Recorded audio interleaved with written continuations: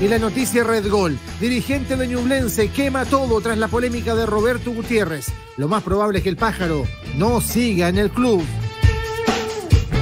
Ramón Arias comenta la molestia por los viajes. Terminar saliendo cuatro horas antes de los partidos en buses es inadmisible para un equipo grande, dice Cachila. Y Tomás Astuburuaga da una lección de humildad en la lucha por el título con Colo Colo. No nos consideramos el mejor plantel de Chile, dice el Cruzado. Señoras y señores, así comenzamos. Red Gol en la clave. ¿Qué tal amigos? ¿Cómo están? 7 con 2 de la mañana. Un gran saludo a toda la gente que hasta ahora nos escucha a través de la 92.9, que también nos sigue a través de www.radiolaclave.cl o en las distintas plataformas de Red Gol. Estamos en nuestro fanpage de Facebook, nuestro canal de YouTube, en Twitch, en Instagram y en Spotify. ¿Quieres opinar en alguna plataforma? Hazlo con el hashtag Red Gol Definiciones porque comienza a definirse todo con los chilenos por el mundo, en la Champions League, en la liguilla de la D, en la definición por el título. Eh, se nos acerca diciembre, que es el mes donde tendremos campeones y perspectivas de lo que va a ser también la fecha clasificatoria del mes eh, de enero. Saludamos al panel el día de hoy, don Edson Figueroa, don Nicolea eh, bueno, mucho que debatir, pero hay una gran alegría, Edson, y es que Charles Arangui se recupera, aparece contento, lo echamos mucho de menos en la selección y da la impresión incluso de que muy pronto ya regresa al Leverkusen. Buen día para ti.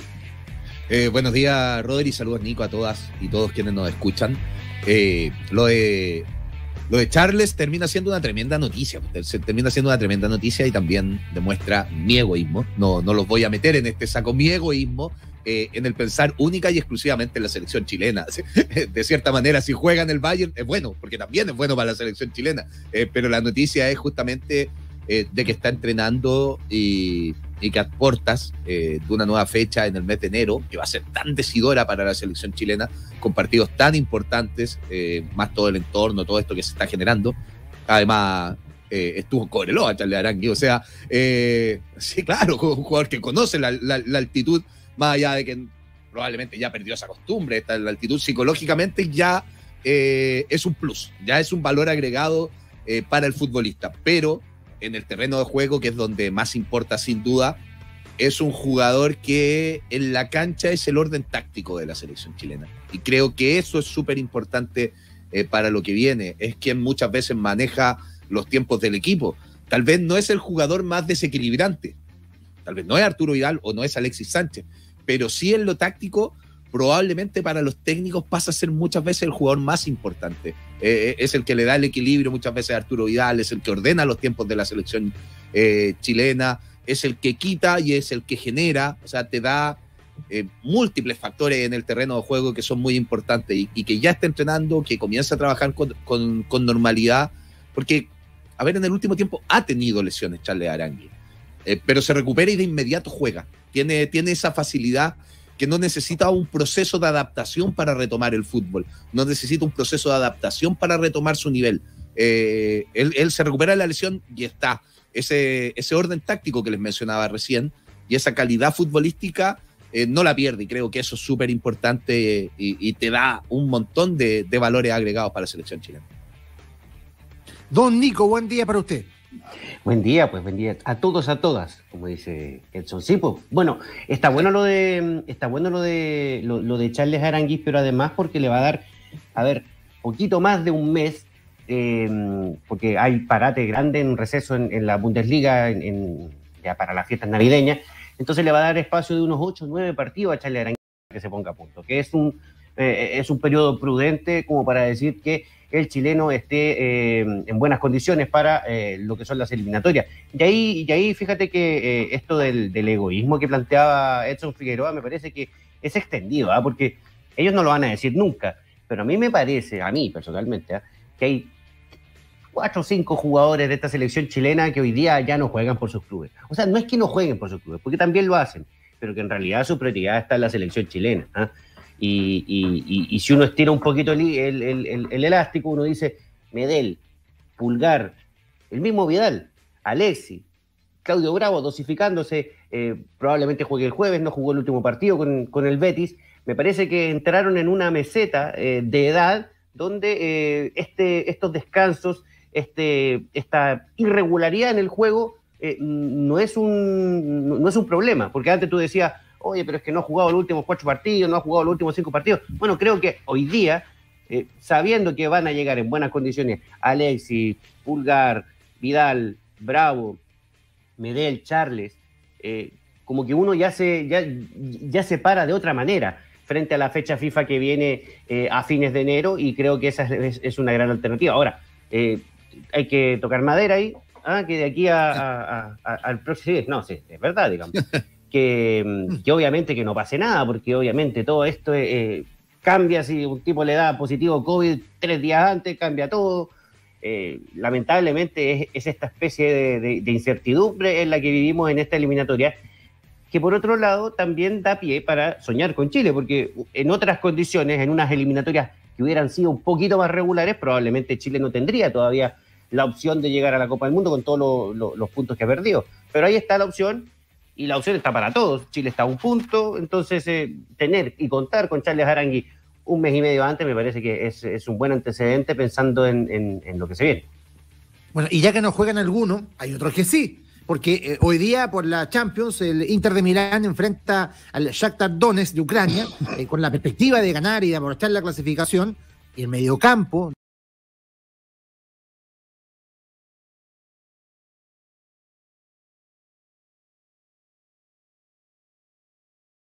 con Varela, con Brozovic y con Arturo Vidal, lo que habla por supuesto también de una intención bastante ofensiva eh, del equipo de eh, Simón Inzaghi, que aparte, Edson, eh, se revela que tuvo una conversación con Alexis Sánchez, que yo me imagino que era apuntada a lo que dice el Nico, a comprometerlo más con este proyecto, porque cada vez que Alexis viene a jugar por Chile, lamentablemente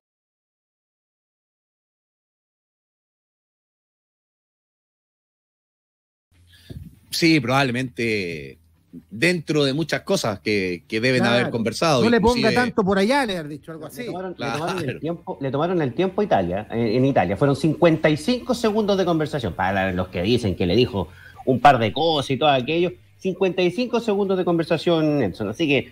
Nada, no en 55 segundos se pueden hacer cosas. Vaya al camarín, le dijo. Pero no tantas cosas, claro.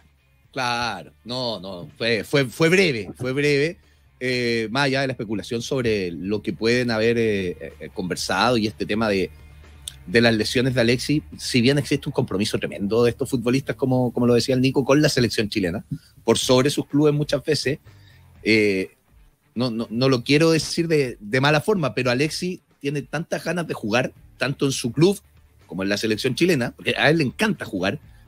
Alexis no es de esos que que les gusta estar parado, le encanta competir y ojalá estar con el, con el balón todo el día.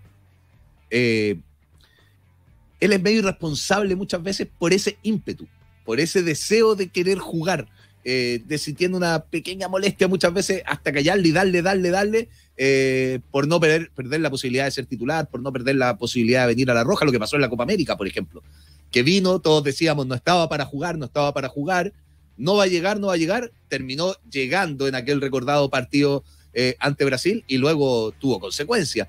Y creo que le ha pasado en el último tiempo. Es tal su deseo que a veces hay que inclusive frenarlo y creo que por ahí pueden pasar las conversaciones y que ni siquiera tienen que ver con la roja, tienen que ver con un todo, con un Inter, con, con, la selección chilena, eh, con su forma de entrenar, de decirle, oye, para un rato, recupérate bien, tienes tremendas condiciones eh, y te necesitamos todo te, necesitan bien en Chile, te necesitamos bien en el Inter o en el club al que vaya a ir y yo creo eh, que por ahí pasan las conversaciones. Cuando yo digo irresponsabilidad es una irresponsabilidad eh, bien entendida porque si algo tiene Alexis es profesionalismo, eh, se cuida mucho, entrena mucho, pero su ímpetu de, de, niño, de este niño maravilla como lo apodamos, le pasa la cuenta muchas veces.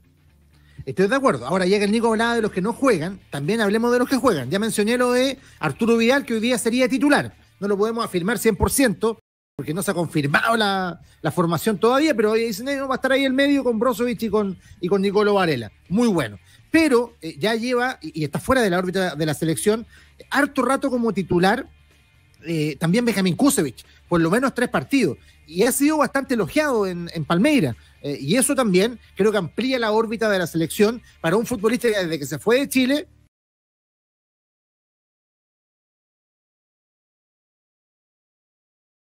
y le ha costado mucho conseguir camiseta. De hecho, la lesión de un compañero ha permitido que ahora esté jugando y lo esté haciendo bien. Eduardo Vargas, si bien no es titular 100%, juega bastante y lo volvió a hacer en esta definición de título y de año en el Brasileirao con el Mineiro. Y eh, en el caso de Mauricio Isla, él es titular, e-, es, ese número fijo en Flamengo y la última fecha no jugó en un sistema de rotación que impuso en este caso el técnico del equipo de Río, pero son buenas noticias, sobre todo lo de Kusevich, eh, Nico.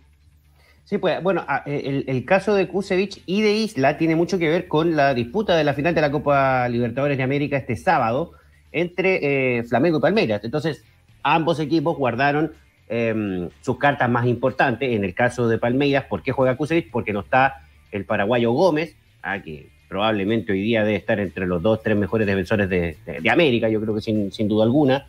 Eh, pero hay un aspecto que llama la atención sobre Kusevich y es la, lectura táctica que hace el, técnico de Palmeiras sobre él, porque no le da cualquier posición, le da el liderazgo de la defensa. Ayer Kusevich jugó como líbero en, en la línea de tres que practica el equipo de, Palmeiras, y me parece que eh, encontrar ese tipo de eh, funciones y de alternativas lo que hace es engrosar la experiencia de los jugadores porque el día de mañana no vamos a contar con, con Gary Medel. Entonces, eh, está bueno saber que eh, Benjamín Kusevich está adquiriendo experiencia en, una posición. Recordemos, acá en Chile prácticamente siempre jugó como, como, como segundo marcador central. El primero era, era, era Lanaro en la eh, el segundo era él, y, y, ahora está asumiendo una posición de bastante más responsabilidad. Además, y esto hay que decirlo, en, en, en Brasil, cuando, cuando te dicen línea de tres, eh, es línea de tres y, los tres defienden y el resto todos para adelante, es una cosa terrible. Entonces, claro, entonces, eh, de verdad, si uno ve ayer los lo, pasajes, de este partido entre el Atlético Minero, le puedo enfrentar a, Hulk, entonces, de verdad es como una jerarquía, un nivel internacional raramente ve y que el fútbol brasileño hoy día sí le está dando a varios seleccionados chilenos. Así que ojo con esa alternativa, eh, la de Benjamín Kusech, un jugador que además tiene tiene, tiene un gran porte. Y yo sé que estamos, me parece, bien resguardados en la, en la zona de retaguardia, pero ahí también el de entrenador tiene que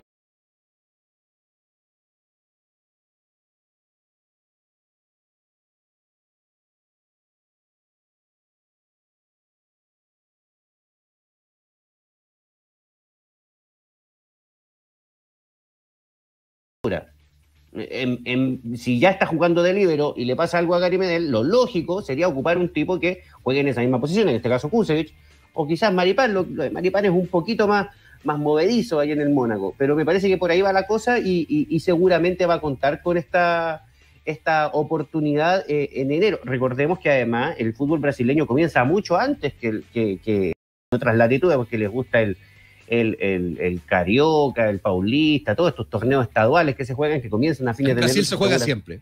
Claro, se juega siempre. seguramente va a llegar con otro, con otro ritmo y, es una carta para, para mantener ahí siempre de frente la de Benjamín Kusevich, que ayer hizo buenas cosas en el, en el partido que Palmeiras igualó 2 a 2 con Atlético Mineiro, que no pase colado que Vargas puede ser campeón en el Atlético Mineiro, es prácticamente sentenciado, tiene ocho puntos de diferencia sobre Flamengo, y eh, River Plate puede ser campeón en Argentina. O sea, en, un año, en un año, eh, este jueves, claro, en un año que parece asiago en el fútbol internacional, eh, un chileno va a ser campeón en Argentina y otro en Brasil. No es poco. No, y es increíble la distancia porque hasta hace un mes estaban súper peleados Flamengo con Atlético Mineiro y ahora ya le sacó estos ocho puntos de ventaja y van en la fecha 34. Por, por, lo tanto, les queda res poco y en diciembre ya podríamos ver a un Eduardo Vargas campeón en Brasil, que no es cosa menor. Y muy pocos chilenos lo han conseguido. Un Eduardo Vargas que hace poco también estuvo de, cumpleaños. Pero ya, para, cerrar este tema de Internico, te quiero pedir si nos puedes contar la agenda Red Gold con los partidos de Champions de hoy y también adelantar la programación de la liguilla de la B. Hay mucha gente que está preguntando qué pasa con esto, la programación salió encima, eh, los rivales, recordemos, se van a enfrentar para definir a este ganador de liguilla que se va a medir eh, con el equipo que caiga en promoción en la primera división y definir ahí un segundo ascenso. Eh, pero, ¿cómo está la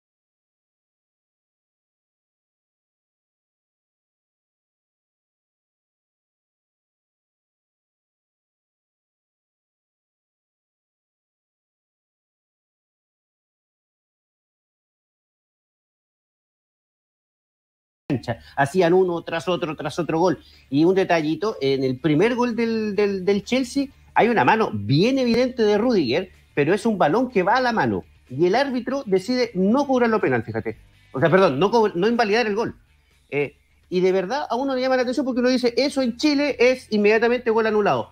Bueno, en Europa están incorporando el criterio a estas acciones y la mano, esta sí, para los, para los, del, para los de YouTube, ¿ah? eh, la mano es acá, que no se ve en la radio, pero la, mano es acá, está, como pegada al cuerpo, entonces uno dice, en Chile la cobran, en Europa ya se está aplicando el criterio y no se cobró, claro, la gente de la Juventus reclamó, Bonucci se quedó sin voz de tanto gritarle al árbitro, pero eh, eh, llama la atención cómo se está ocupando el criterio en un torneo tan importante como eh, la Champions League. Ayer también destacable lo del Manchester United, que con técnico interino Michael Carrick le fue a ganar 2 a 0 al Villarreal.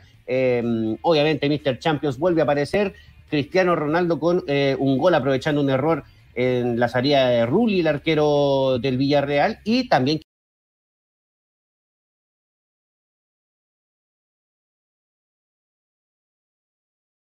un metro noventa y el tipo se da vuelta como si fuera nada, como si fuera una mariposa, gira, eh, eh, eh, el golpe de la chilena, pique abajo y gol tremendo.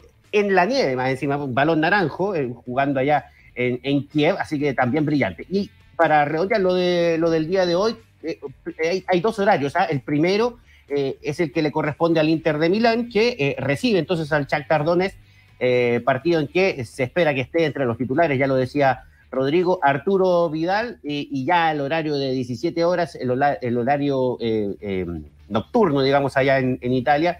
Eh, obviamente todo se centra en el partido entre Manchester City y París Saint-Germain, partidazo, ¿ah? por donde se lo mire. Y también Atlético de Madrid frente al Milan, que claro, al lado del otro partido eh, ahí nomás, pero igual, igual vamos a estar pendientes de eso, como también del Real Madrid con el Sheriff.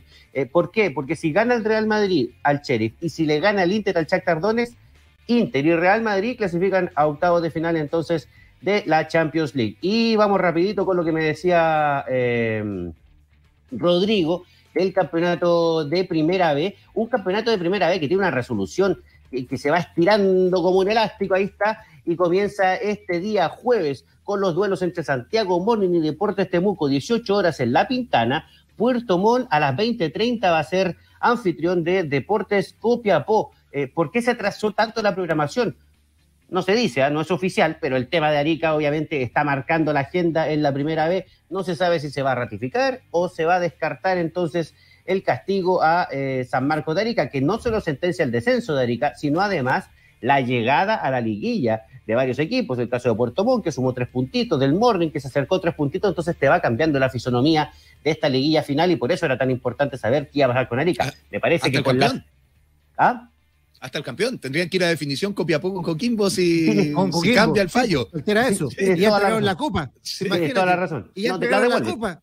No, la devuelven. Pues, la devuelven. La, devuelven. Bueno, ha pasado, ¿ah?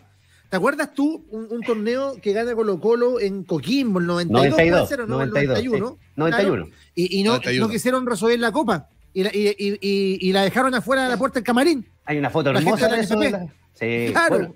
Eh, eh, porque ellos querían recibir la copa como locales. En el Monumental. En el Monumental, claro. Había, un tema de, de, borderó que era importante, de recaudación, de jugar estadio lleno, que se entregue la copa y se hizo pues. un desaire. lógica, no había, no había para qué entregarle en el Sánchez rumoroso, pero como estaban peleados los dirigentes seguramente van y se la colocan en la puerta de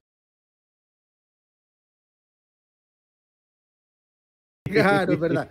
Oye, eh, vamos a hablar también de, lo que está ocurriendo en la Católica y, esta declaración de Asturuaga que habla de que no es eh, el mejor plantel de Chile, a pesar de que yo creo que sí, sí lo es, ¿ah? eh, el, más completo. Pero antes de eso, fíjate que Datos del Fútbol Chileno publicó una estadística con respecto a los equipos que han cometido más faltas en el torneo. No sé si tuvieron la oportunidad de verlo.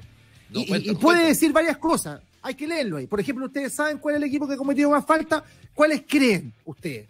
Por ejemplo, los dos primeros. O los tres primeros. Bueno, se los voy a decir mejor. El que comete más falta. Huachipato. 445 faltas concedidas. Está peleando el descenso. Se condice, con algo. El, año pasado, por ejemplo, el Simbi Cueva fue el futbolista con más cartulina amarilla. Con, más tarjeta. Y este año ha ido repitiendo la tónica. Y anda por ahí. Y anda por ahí esta vez. El segundo equipo que comete más falta, Wanderers, 428, ya ha descendido. Hay una lectura que se puede hacer ahí, ah, ¿cierto? Hasta falta de respeto Falta y, y están. Pero el tercero me sorprende. El tercer equipo que comete más falta, la Universidad Católica, con 395 faltas. Más atrás, en cuarto lugar, está la U, 392. Y los tres equipos que han concedido menos falta, en este mismo orden, el eh, antepenúltimo, Colo Colo, 356, Antofagasta, 350 y el equipo más limpio, Palestino, solo 347 en eh, lo que va de este campeonato. ¿Se puede sacar alguna lectura de esto? Sí, un, pequeño, apunte para Rodrigo. Estamos hablando del equipo que al que le cobran más faltas. No, eventualmente no es el más violento. Concedidas, concedidas. Claro, eventualmente no es el equipo más violento porque puede haber un equipo al que no le cobran tantas faltas. Concedidas, o sea que las comete, Sí, eso es lo que yo entiendo. No, pero el, Nico se refiere a, los cores, que no necesariamente se cobran todas las faltas, pero claro, que, que, el árbitro. por ejemplo, me pasa, también depende de qué falta, porque por ejemplo, se me ocurre, esto especulando, ¿ah? pero se me ocurre que las faltas que le cobran a la Católica tienen más que ver con un esfuerzo por recuperar el balón, y las faltas que le cobran a Wander tienen más que ver con cortar una jugada que eventualmente pueda ser eh, eh, perjudicial o de riesgo para, para el cuadro porteño. Eh, eh, es una percepción, digamos. pero ahí está el desglose. Yo ya mencionaba lo del Simbi Cueva en Guachipato.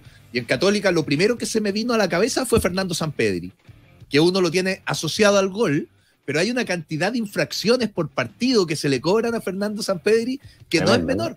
Sí, que es, eh, porque es un jugador que utiliza mucho los brazos, que es violento.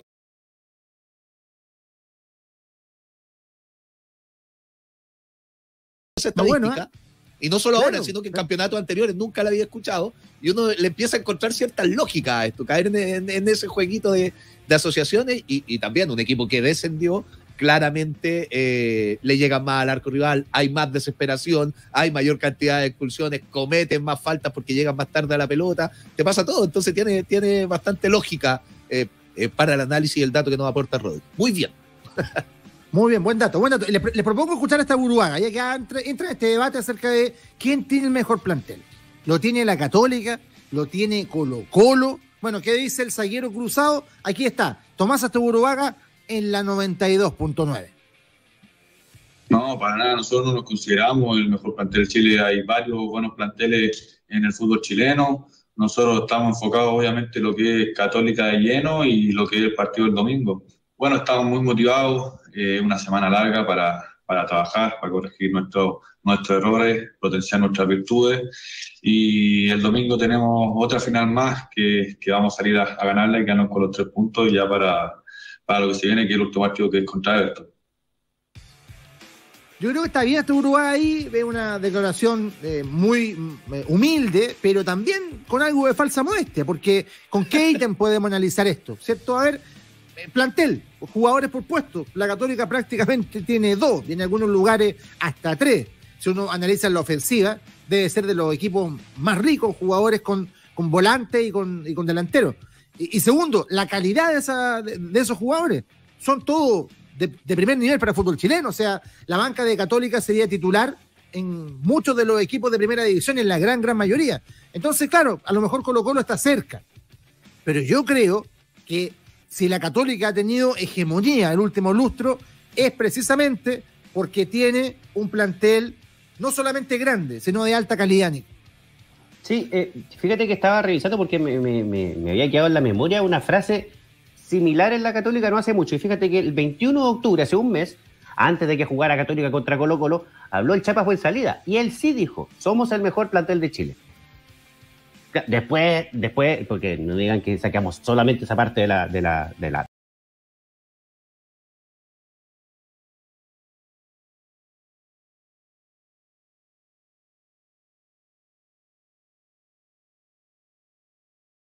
en el fondo evitando cualquier tipo de, de, de, no sé, por decirlo elegantemente, cualquier tipo de ají que podría haber tirado para, para otro lado, específicamente para, para el Estadio Monumental. E, en una parte, en, una parte del campeonato donde nadie quiere darle ni medio metro al rival como para que se, esperance o que o un titular en el diario, qué sé yo, que, que porque todo esto se ocupa. ¿ah? Eh, mira lo que dijeron al frente, mira lo que dijeron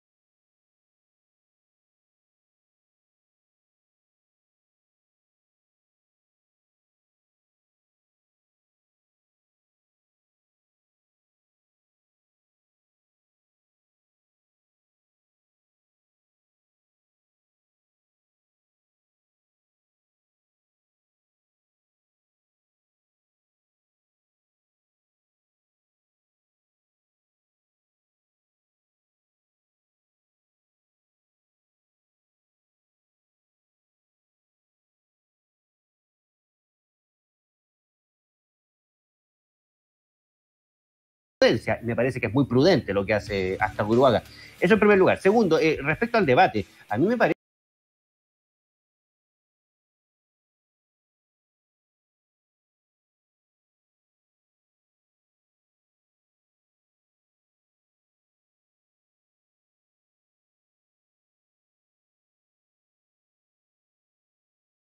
laterales derechos que defensores, entonces no, no es algo que me, eh, que me cautive demasiado.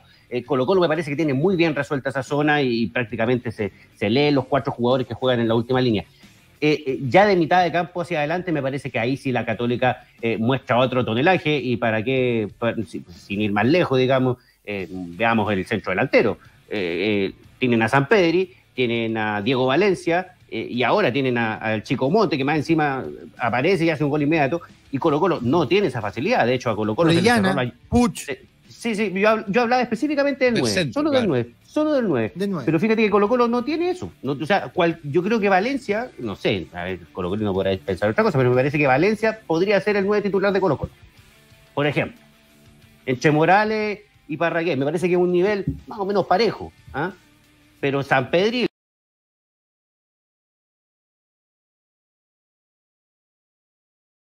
mientras eh, hacía esta presentación, esta introducción, Rodrigo, porque eh, el Nico nos decía, hace un mes atrás, hace un mes atrás el Chapa dijo lo contrario, pero uno tiene que hacer el análisis, ¿qué pasaba hace un mes atrás? La Católica no era líder del campeonato. Los equipos, cuando no están en una situación de liderazgo, en una situación importante, siempre buscan validarse de cierta manera, y el Chapa en aquel momento dice, eh, nosotros tenemos el mejor plantel y esto lo hemos escuchado un montón de veces, somos el mejor equipo, el que mejor juega, el mejor equipo del fútbol chileno, en, en distintos clubes, eh, me, me, refiero, cuando no están líderes. Pero al momento, de un, cuando un equipo es líder, no es favorito para nada. Llega el clásico, no, nosotros no somos los favoritos. Eh, en los, en los clásicos puede pasar cualquier cosa. Claro, llega el, momento de la definición. No, nosotros no somos el principal candidato para el título, la responsabilidad es de otro. ¿Tienen el mejor plantel? No, ¿cómo se te ocurre? Nosotros no tenemos el mejor plantel. Eso siempre pasa, eso siempre pasa y es cosa no, esa, de revisar dice, el archivo. Ese que te dicen, eh, es que tienes que empatar con los Apenco y eres campeón. No, partido a partido, ah, partido a partido. paso a paso, a, a lo Mostaza Merlo, que también se ya, ya todo le incluye, como decía el Mostaza, no, paso a paso. Eso pasa de siempre. paso a paso. Y, Claro, el, pero el análisis debe ser nuestro. Eh, yo coincido, yo coincido, creo que Universidad Católica por cantidad de jugadores, eh, por momento de los jugadores, eh, tiene el mejor plantel del fútbol, del fútbol chileno. ¿a, qué, ¿A qué voy? por ejemplo, tener en la banca a un jugador con la experiencia y la trayectoria de Fabián Orellana, que tal vez no le hemos visto el gran partido en, en Católica, no ha demostrado no. las expectativas que habían sobre él pero es un jugador interesantísimo, de una experiencia internacional tremenda. Lo de Montes, que Montes no iba citado en la Universidad Católica, no iba citado en la Universidad Católica eh, en un montón de partidos. Lo de, Luciano Agüet, eh, desde la experiencia que tiene, desde lo que puede aportar. Lo de Diego Buonanote, eh, que me parece que en el peso específico son más realidad que muchos jugadores que tiene Colo Colo, que tal vez muchos en el futuro pueden tener una carrera mucho mejor que los que tienen en Universidad Católica. Llámese Joan Cruz, por poner un ejemplo. Pero son jugadores más nobles, son jugadores que están comenzando su carrera. Son muy buenos jugadores. Colo Colo tiene un muy buen plantel en sus 11 elementos que son titulares habitualmente. Eh, yo lo he dicho acá, me parece que el equipo que ha mostrado una mejor expresión futbolística a lo largo del año ha sido Colo Colo. Pero eso es en la cancha y en esos 11, en, el, en la suma total de, de plantel, me parece que Católica le saca ventaja a Colo Colo y va a ser eh, de estos factores que van a incidir en esta resolución de campeonato. Va, va, va a ser importante eh, y nos vamos a encontrar con esos resultados en un par de semanas. ¿Qué va a incidir más? El momento en la cancha, lo que juega este gran equipo que ha mostrado Colo Colo durante la temporada, o este gran plantel de Universidad Católica que te da un montón de variantes cuando va quedando poquita benzina. Y es verdad, y ahora vuelve Puch. Eh, se recuperó rápido, eh, es importante lo de Puch y eso también refrenda el hecho de que eh, tienen un, un plantel demasiado importante. Ojo, ¿eh? porque ya que estamos hablando del tema de los equipos que cometen más falta, Huachipato el primero, Católica el tercero, se enfrentan. Se enfrentan el domingo. ¿Será el Festival de la Patada, Nico? tiene pinta, ¿eh? tiene, tiene pinta de ser, de ser, ese tipo de partido, pero además por el, por el por el vigor que, le imprimen ambos entrenadores, ¿eh? Paulucci y Mario Sala, son dos tipos que eh, salen, como se dice, con el cuchillo entre los dientes, así que eh, seguramente va a ser un partido bien, agitado. No sé cómo, estará la, cancha de San Carlos, pero me tinca que es de esos partidos que terminan como con una champa salida, como con harta barría, como, que independiente que haya, que haya barro no, los jugadores terminan con la camiseta como marcada de pasto y todo aquello. Así que eh, eh, va a estar bien entretenido. Lástima que no los vamos a poder ver ahí con un ojo en uno y un ojo en otro, porque está el partido de Colo Colo a la misma hora. Y bueno, son cuatro partidos a la misma hora, así que eh, imagínate cómo lo vamos a hacer ese día. Eh, por supuesto, es la ¿Te acuerdas? Acá en, acá en que, que, antes había unos televisores que eran picture in picture. Y uno podía dividir la pantalla y ver dos cosas distintas. Ahora ya no, no, sé si está de no, incorporarse tecnología a los Smart TV. Pero, te voy a contar, no, me acuerdo quién lo comentó que había ido a la casa de Bielsa y, y, encontró que Bielsa había diseñado un mueble que le permite ver cuatro eh, televisores a la vez. Así que eh, eh, Como director de prensa, que los tiene en todo sentido. Claro. Así es, así es. Así que, así que si, si, está en sintonía, Marcelo, mande el nombre del mueblista para, para este fin de semana. Eh, para ver si podemos confeccionar esa, ese, ese, elemento. Oye, verdad. Oye, respecto a, a, lo violento del partido, que, que, podría ser por este antecedente un dato estadístico que nos habla de, de la violencia, si hay infracciones tácticas también. Es curioso que lo, lo, dije yo, pero no, no, se sumaron más nombres cuando, cuando lo conversábamos, nos acordamos del Simpi Cueva, que es lateral, y nos acordamos de Fernando Sampedri, que es centro delantero. Y no mencionamos ni a Sepúlveda de Guachipato, ni a Saavedra, Universidad Católica, que son los volantes de contención, los llamados a cometer más infracciones en el terreno de juego. Y mira, me, parece que son jugadores bastante limpios, eh, que juegan bastante bien y manejan bien la posición. Entonces, en el desglose de esta estadística que nos, que nos aportó el Rodri, eh, también podemos incluir esto, que tal vez, tal vez, que esto habría que hacer el, análisis estadístico, que no lo voy a hacer, por lo demás, eh, probablemente no son los jugadores que, que, cometan más infracciones justamente los volantes de contención. Es verdad. Oye, vamos a seguir hablando del torneo. Nos resta Colo Colo, ver también lo que pasa con la U, pero siendo las 7.34, llegó la hora de nuestro entretiempo. Llegamos al final de la primera etapa. Le damos un respiro al fútbol para conversar de otras disciplinas. Entretiempo. En Red Gol en la clave. Y esta música nos invita a saludar a don Alfonso Zúñiga, que nos trae excelentes novedades para el tenis chileno. Alfonso, buen día para ti. Buen día para ti, Rodrigo, y para todos, porque es verdad que ya el circuito profesional del tenis ya prácticamente ha terminado por, eh, con Alexander Zverev coronándose como el maestro en, eh, en Turín este fin de semana. Pero los chilenos siguen eh, jugando. Están los Challengers, están los, viejos futuros que se llama. Y, y Nicolás Jarry volvió a sumar puntos en el ranking ATP. Luego de llegar a cuarto de final en el Challenger de Campinas en Brasil, el, eh, el tenista nacional subió cuatro, seis puestos en el ranking y ahora está en el lugar 166 del ranking eh, del ATP con 431 puntos. Es verdad que se mantiene como el cuarto mejor tenista de, nuestro país, si considera, por ejemplo, que sin jugar, Cristian Garín subió un puesto. Cristian Garín subió un puesto y se va a mantener en el top 20 del ranking. Está en el lugar 18 con 2.353 puntos. Y lo siguen, y ojo con este dato, Alejandro Taviro y Marcelo Tomás Barrios. Están en el 41 Taviro y 142 Barrios. ¿Sabe cuánto es la diferencia entre ambos chilenos? Un punto. Solo un punto es lo que separa a Tavilo y a Barrios en el eh, ranking del ATP. Y destacar dentro de estas alzas del eh, circuito mundial en cuanto a los nacionales, lo de Bastián Maya, que hace dos semanas ganó el torneo M15 en Antalya, Turquía, y escaló 31 posiciones. Hoy está en el lugar 502 está solo por debajo, o está debajo de Gonzalo Lama, que está en el lugar 313. Así es que los chilenos tuvieron un importante ascenso en el eh, Garín, que subió un puesto, Jarry 6 y Bastián Maya 31 en un eh, ranking ATP que no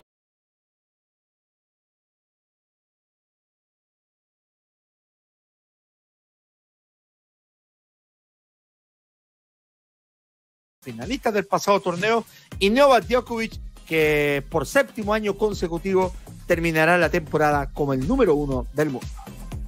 Las noticias del tenis en el entretiempo acá en Red Gol en la clave. Muchas gracias, eh, Alfonso, que esté muy bien.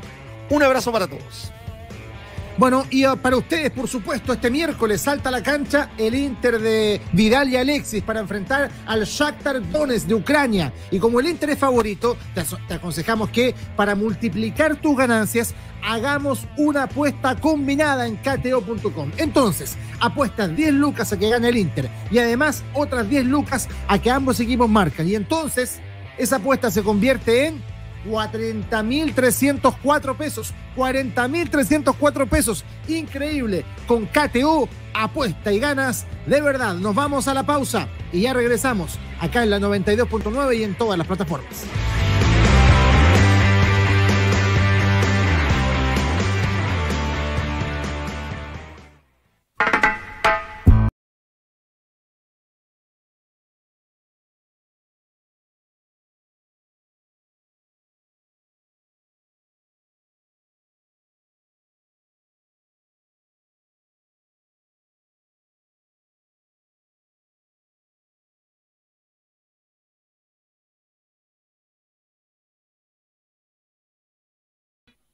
Ya está en Chile el mejor sitio de apuestas deportivas y casinos. Ingresa en cateo.com y comienza a ganar con tu equipo favorito. Juégatela por el Inter del Niño Maravilla, por la Roja en las clasificatorias o por el equipo que quieras en la liga que quieras. Inscríbete ahora mismo y aprovecha nuestro bono Apuestas sin riesgo en tu primera apuesta. Si pierdes, te devolvemos hasta 25 mil pesos para que sigas jugando en cateo.com porque con cateo.com apuestas y ganas de verdad. No hay tiempo para descanso. Comienza el segundo tiempo. Escuchas Red Gol en la clave. Ya estamos de vuelta siendo las 7.39 acá en Red Gol en la clave. Y ojo, porque Red Gol presenta los premios Contragolpe 2021, el camino de las mejores. Tú eliges a las más destacadas del fútbol femenino de primera división. Ingresa a contragolpe.cl o redgol.cl.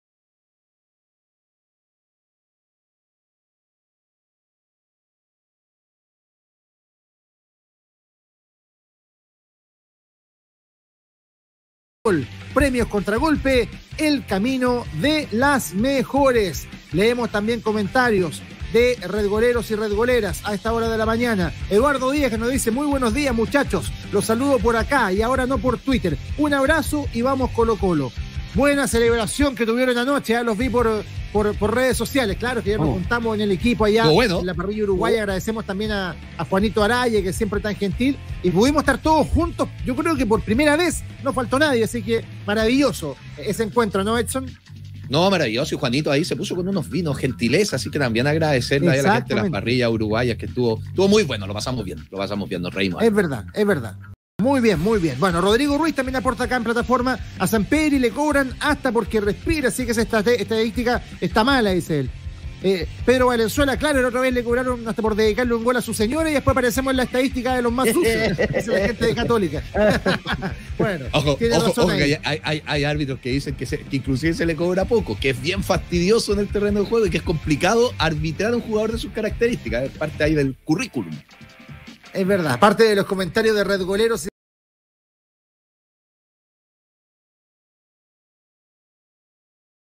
Chillán, que no ha tenido, creo yo, una buena explicación de parte del futbolista y que tiene que ver con lo que pasó con, eh, con Roberto Gutiérrez, que, que no quiso patear eh, en la tanda de penales cuando una buena se definía la Supercopa con Católica. Eh, de hecho, lo, lo- lo pateó un jugador inexperto, lo terminó perdiendo. Y, y hubo problemas en el camarín que ya son bastante evidentes, más allá de que Roberto lo haya negado. Tampoco ha dado una, una razón. Él dice, mis razones se las expliqué el presidente, pero, pero cuando uno está en un lugar, no solamente la autoridad merece explicación, sobre, todo pensando de que eh, es un equipo muy popular en la región del Ñuble, con mucha hinchada. Yo creo que ellos también merecen saber qué pasó, pero todo indica que eh, el camino de Gutiérrez va a la puerta de salida, ¿no, Nico? Sí, bueno, así parece, y de- después de lo que dijo el, presidente de la Comisión Fútbol de, de Ñublense, esto en conversación con el Mercurio, dijo, eh, pienso que Gutiérrez no debería ser citado, no debería continuar en el club, más que por este penal, por un tema de rendimiento y edad. Y cara dura, ¿eh? Eh, así que, no, está complicado el camino para Roberto Gutiérrez y, y coincido con lo que dice Rodrigo. ¿ah? Muchas veces eh, no solo el futbolista, no quiero dejar solamente en el futbolista, pero hay mucha gente que cree que porque tira tres o cuatro comentarios en, redes sociales está todo claro. No, es que ya, ya dije lo que tenía que decir ahí. No. Pero no, ¿ah? Porque ahí lo que estás haciendo es un descargo personal. Pero tú no le preguntas a la otra persona si está conforme con tu explicación o si le quedó alguna duda. Y en este caso particular, me parece que son muchas las dudas que quedan en el tintero, más allá de que, em, de que Roberto Gutiérrez se haya culpado en, un comentario en Instagram. Más allá de eso, me parece que Ñublense eh, merece un poquito más que eso. Y, eh, y de acuerdo a lo, que, a lo que se señala ahora desde Chillán, es que esta situación le generó eh, mucha molestia a nivel de camarín, ya a nivel de compañeros de, Roberto Gutiérrez, que eh, las relaciones eh, no eran buenas y que obviamente todo quedó, em, todos quedaron bien bosqueados con esta actitud que de alguna manera marcó la definición. De hecho, cuando, cuando Gutiérrez entra, a falta de poquito que terminara ese partido entre Católica y Ñublense, al menos lo que yo pensé, dije, seguro que va a patear el penal, porque por algo entra. ¿ah? Y, lo curioso es que no estaba en los cinco y después cuando los penales adicionales tampoco aparece. Entonces ahí ya llamaba la atención y luego obviamente eh, se, destapó todo este asunto y, em, y se complica. Ahora, eh, Roberto Gutiérrez, un tipo que tiene muchos años en el fútbol y que seguramente sabe lo que sabe lo que sabe el significado de lo que hizo o dejó de hacer. Más allá de que él le busque una explicación, de que no estaba preparado, de que lo que es, más allá de eso, hago que la explicación se la dé al presidente, todo aquello me parece que él tiene claro eh, lo que pasó eh, y al margen de si es o no culpable o si se siente o no culpable, yo creo que él entiende la molestia ¿ah? de la gente de Ñublense, de sus compañeros de Camarín y también de la dirigencia del cuadro chillanejo. Eh, es complicado el panorama para Roberto Gutiérrez porque tampoco es una, mm, es una situación muy linda que marcar en el, en el currículum.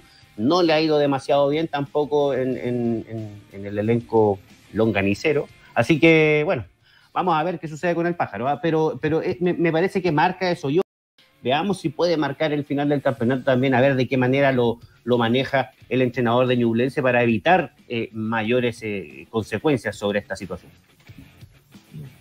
Sí, complicado el panorama ahí en, en Chillán y con Roberto Gutiérrez. Yo, yo creo que nadie puede suscribir lo que pasó ahí y nadie lo puede entender, que es lo más grave. Pero hablemos de Colo Colo, ya hablamos de la Católica, que retorna pucha los entrenamientos, es eh, opción, habló hasta Uruguaga. Eh, también Colo Colo tiene un dilema. No va a estar Maxi Falcón para este duelo ante la Unión Española. En este campeonato y en la Copa Chile durante eh, los torneos del 2021 han jugado tres veces con tres victorias para Colo Colo pero en el torneo anterior, cuando Colo Colo peleaba el descenso, en año calendario 2021, una goleada a favor de la Unión Española en un entretenido partido. Fue la última vez que la Unión le ganó Colo Colo. Eh, no sé qué va a pasar este fin de semana con la presión de la lucha por el título, Edson.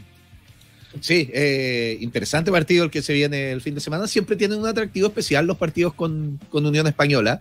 Unión Española tiene, tiene ese plus que juega con la Católica, que juega con la U, que juega con Colo Colo, y siempre, siempre hay un condimento adicional para ese tipo de, partidos. Son encuentros eh, interesantes que generan bastante expectación. Respecto a la duda que planteas, ha trascendido una, formación que podría utilizar eh, Gustavo Quinteros, eh, que sería con Brian Cortés en portería, Óscar Opaso por la banda derecha, el reemplazante de Maximiliano Falcón sería Matías Saldivia. Matías Saldivia como central junto a Emiliano Amor eh, y el retorno de Gabriel Suazo en la banda izquierda.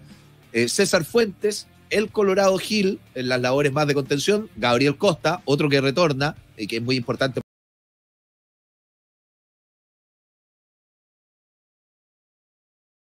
Dentro del ataque, a Iván Morales. Ese sería el 11 que utilizaría Gustavo Quintero. Pero, ¿sabes? A mí me, me surge una duda eh, infiero, esto no lo he consultado ni nada, esto tiene que ver con, de repente pequeñas imágenes que se suben, con pequeños videos, con lo que pasó eh, partido entre Colo Colo y, eh, y, Recoleta, partido amistoso del fin de semana que ganó el cacique 5 a 1, que jugó Cristian Santos. Yo no sé por qué creo que Gustavo Quintero le está dando una vuelta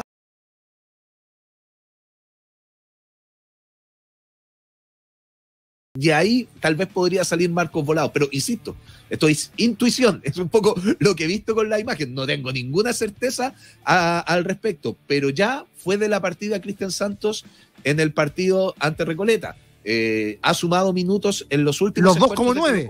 Rotando. Los dos como nueve. Recordemos que cuando se hablaba mucho de Moreno Martins, cuando se hablaba de la llegada de un segundo centro delantero, la constante de Gustavo Quintero era decir, a mí me gustaría jugar con dos puntas, con dos nueve. Él siempre hablaba de, de Moreno Martins e Iván Morales. Después el nombre fue, fue cambiando, pero entiendo que esa idea la sostiene, que la tiene en la cabeza. Es que a mí no me extrañaría que en busca del gol en este partido pueda sumar esa alternativa. Es, interesante ese debate y agrego un elemento más porque el otro día eh, habló mm, Luis eh, Suárez, perdón, eh, el ex ayudante de Pisi con una radio amiga y plantea un tema que, tiene que ver con esto. O sea, acá en Chile, tanto que se juega con el 4-3-3, pero el 4-3-3 es bien mentiroso porque acá los punteros no encaran, no encaran. Entonces al final termina siendo 4-5-1. Y a lo mejor, claro, y tiene tiene incertidumbre porque uno piensa en encaradores puede ser Solari, en algunos momentos volado, en Colo Colo, en ese mundo. Eh, en Católica, eh, ciertamente en su minuto lo era Tapia, se lesionó, lo puede ser Oriana, no juega, lo puede ser a veces Monte, lo puede ser Valencia, pero son pocos en realidad los que, los que tienen esa cualidad. Y jugar con 2-9 puede no ser malo. Te muteaste, Nico. Te muteaste. Era invicto en la semana. Era invicto. Lamentable. Eh, ya, dos cositas. Sí, e, es efectivo lo de, lo de jugar con 2-9, lo demostró la selección chilena, ¿eh? que, cuando hizo esa dupla Brereton Vargas eh, y Brereton Sánchez y Sánchez Vargas, el equipo caminó, pese a que tenía prácticamente impregnado esto de los tres delanteros que venía de, de la era Bielsa y de la era San Paoli. Eh, a mí me parece que a, nosotros se nos fue olvidando un poquito, como prácticamente todos los equipos juegan con tres delanteros en el mundo, se nos fue olvidando cómo jugaban las duplas de delanteros. Pero aquellos que somos eh, nacidos del 85 para atrás, digamos, eh, recordamos grandes duplas de, de delanteros, y sé yo, no sé, pues Polaco Golver con Marcelo Sala, eh, Sala con el Bombero Ibáñez, eh, Vergara, Basay, Vergara Basay, impresionante. Entonces, claro, e, era, era, una, era una fórmula que se aplicaba mucho eh, hace dos décadas y que comenzó a caer en desuso, pero no por eso ha, perdido, digamos, vigencia. Hoy día vemos que en el fútbol internacional se vuelve a ocupar como alternativa precisamente cuando hay una, hay una falta de extremos. quería precisar una cosita que dijo Edson, eh, que parece clásico esto de Unión Española con eh, Colo Colo. Fíjate que si no me falla la calculadora científica, serían 192 partidos. Este es el partido 193 por campeonato nacional entre Colo Colo y Unión Española. Es el partido más jugado en la historia del campeonato nacional. Está primero Colo Colo Unión Española, segundo Universidad de Chile, Universidad Católica y tercero Colo Colo contra Universidad de Chile pero Unión Española y Colo Colo son el partido que más se ha jugado en la historia del Campeonato Nacional. Ojalá los estadísticos me, ahí me precisen, porque yo quedé... Tiene, tiene, que ver con la permanencia en primera división de ambos equipos también, ¿no? Claro, claro. Efectivamente. Tiene, mucho que ver con eso. Oye, eh, sumando a esto del, del, 9 que, que hablábamos, eh, Gustavo Quinteros también lo ha hecho mucho con Marcos Volados. Recordemos que la posición de Volados ha ido mutando, ha ido mutando. No en todos los partidos se ha jugado de extremo. Hay muchas ocasiones que termina jugando Solari por la derecha, que abre a Gabriel Costa en la izquierda y termina dejando de punta a Marcos Volados e Iván Morales, el eh, de, centro, de centro atacante. Lo ha hecho en muchas ocasiones. Recuerdo en algún partido, no, recuerdo el rival, pero sí recuerdo que en un partido jugó, eh, parece que fue con La Serena. En La Serena Jugó solo Marcos Volados de atacante en la segunda etapa, de centro delantero. Él quedó en la punta eh, y cumplió de buena manera. Entonces, es un esquema que ha venido utilizando durante el año. Por eso, yo insisto, no descarto esta posibilidad. Tal vez eh, en el segundo tiempo hay muchas más probabilidades de que lo veamos, pero no descarto esta posibilidad eh, de Santos con Morales del primer minuto. Mm. Sí, bueno, eh, yo, creo que Santos en el fondo también tiene que justificar su venida acá y Quintero también con todo lo que hinchó por traer un centro delantero, tiene que darle más oportunidades. Yo no tengo una opinión formada todavía eh, sobre lo que ocurre con Santos y cuál es su verdadero nivel. Pero les propongo escuchar a Óscar el Torta Paso, que habla de esta posibilidad de jugar un partido de definición eh, con la Católica. Lo escuchamos acá en la 92.9 los que empezamos a jugar es muy difícil estar pendiente del otro partido si estamos enfocados 100% en lo que es el, partido mismo de, Unión Española. Claramente, la gente alrededor y la gente en la banca supuestamente o posiblemente pueden estar pendientes de lo que puede pasar en el otro partido, porque es lógico, es, normal, se está definiendo el campeonato, y pero nosotros no.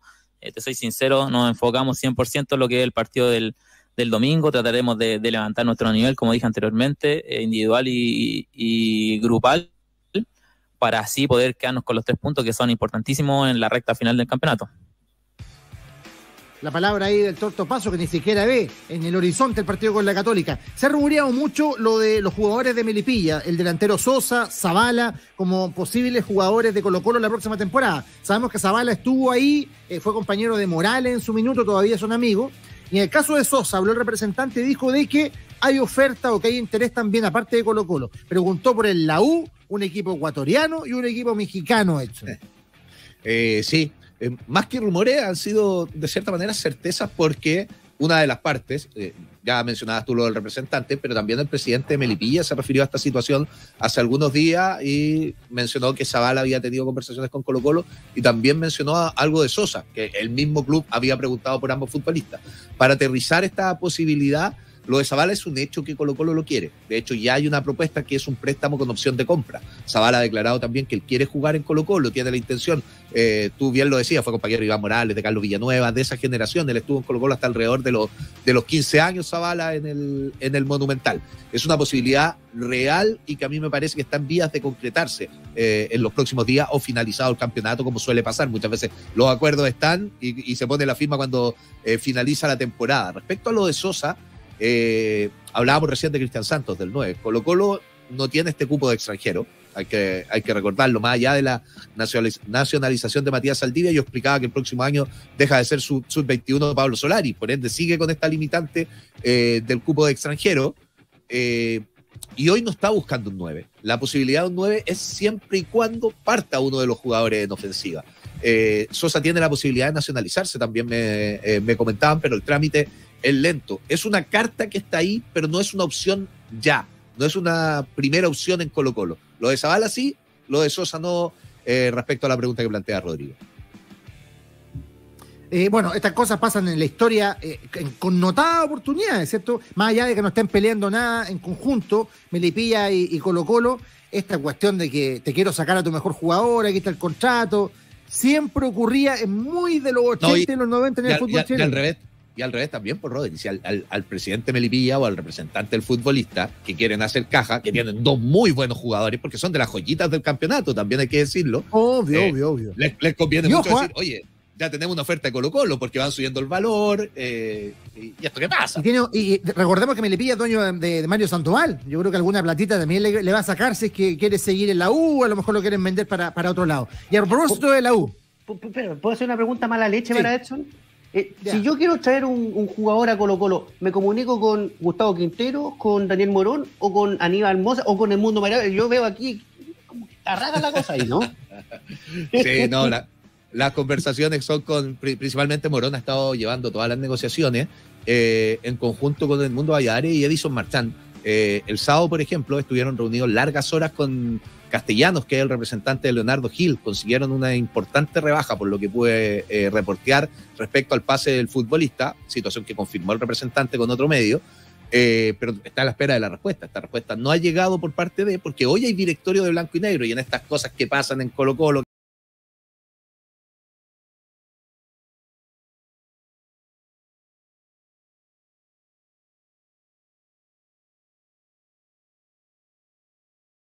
Les propongo escuchar a, a, Cachila Aria, porque toca un tema sensible. La U ha tenido muchos problemas desde que el Estadio Nacional está cerrado. Y va a estar también el próximo año, lo más probable, eh, cerrado por remodelación. Eh, con su localía, eh, con los viajes, con el desgaste. Cuatro horas saliendo de Santiago para ir a jugar un partido de fútbol. Es mucho, dice esto. No es digno de un equipo grande. Escuchamos a Cachila Arias en el 92.9. Lo manifestamos que lo mejor para el plantel hubiera sido que se juega en Santiago, ya que estuvimos todo el torneo trasladándonos para arriba y para abajo. A ver, no es una excusa, pero terminó saliendo cuatro horas antes de los partidos en buses. Es inadmisible como equipo grande que, es la U, así que lo preferible y lo, adecuado para Blanter era jugar en Santiago. Pero bueno, hay que adaptarse a las situaciones que se van presentando. Así que juegue donde se juegue, que salir a ganar, pero sin descuidar que tenemos una final antes. Se ha transformado en un partido vital para nosotros de mucha magnitud. Si queremos salir de la zona baja de la tabla, así que bueno, estamos trabajando con mucha determinación para llegar de la mejor manera a lo que es el partido con Cobresal, ¿no? Sabemos que históricamente la U ha tenido de las buenas ahí, así que esperemos que nos acompañe un poco también la, la suerte. Bueno, una reflexión para esto, Nico, porque nos queda un minuto. Sabemos de que la U está muy complicada, no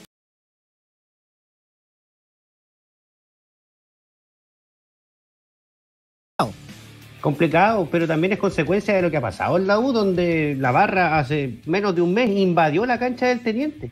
Sí, sí, a ver, y digamos, eh, la dirigencia de la U, yo no escucho ningún derecho de admisión, ninguna investigación, ni nada. Los muchachos entraron en la cancha, salieron, hicieron lo que quisieron, le pegaron a un jugador y no pasó nada. Entonces, si no hay comportamiento de la hinchada, menos estadios les van a poder habilitar a la U. Es imposible. Además, ahora están sin público. No, yo de verdad encuentro que el reclamo de, eh, de, de Cachila está de más que el mismo podría haberse reflexionado cuando sucedieron estos hechos y nadie salió a defender a Pablo Araño. Me parece que quizás era el momento de decir por estas situaciones la U no tiene, no, no tiene dónde jugarse. Al final, esa es, la, esa es la verdad de la milanesa. Y respecto a Cachila Aria, y esto eh, es un secreto a voces, las relaciones entre Cachila Aria y la dirigencia de la U no están bien y estas declaraciones también hay que verlas con ese prisma, ¿eh? con, con el tema de la renovación que aparentemente no va a llegar con el tema de un rendimiento que ha ido en baja en los últimos, en los últimos meses y que seguramente es parte también de las razones de esta reflexión del profesor de la U.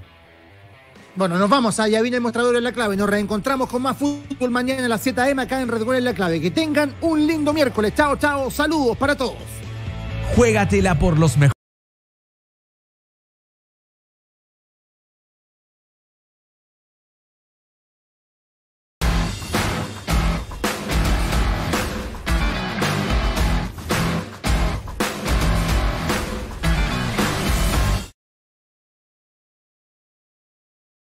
Ya está en Chile el mejor sitio de apuestas deportivas y casinos. Ingresa en cateo.com y comienza a ganar con tu equipo favorito. Juégatela por el Inter del Niño Maravilla, por la Roja en las clasificatorias o por el equipo que quieras en la liga que quieras. Inscríbete ahora mismo y aprovecha nuestro bono Apuestas sin riesgo en tu primera apuesta. Si pierdes, te devolvemos hasta 25 mil pesos para que sigas jugando en cateo.com porque con cateo.com apuestas y ganas de verdad.